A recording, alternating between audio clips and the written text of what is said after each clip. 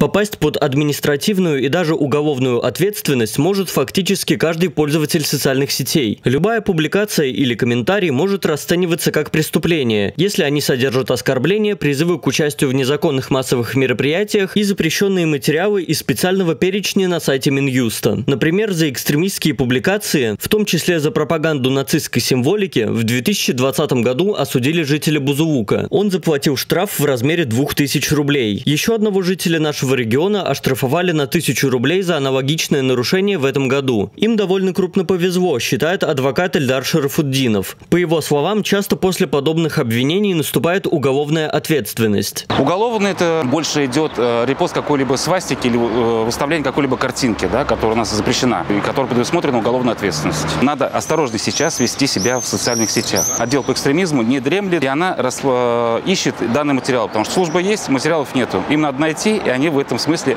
ищут. Также Эльдар Шарафуддинов отметил, что привлечь к ответственности могут не только за публичные действия в интернете, но и за переписку. Был прецедент именно в России, что за распространение призывов э, в социальных сетях, в том числе и в WhatsApp, был человек привлечен к административной ответственности. По данным информационно-аналитического центра «Сова», признанного иностранным агентом, в 2020 году за экстремизм были осуждены 504 человека. Для сравнения, в 2019 году за публикацию запрещенных материалов и символики, а также экстремистские высказывания осудили только 432 человека. Источниками для возбуждения дел стали публикации, комментарии и сообщения из личных переписок. Александр Кацун, Олег Берендеев, городской телеканал ЮТВ.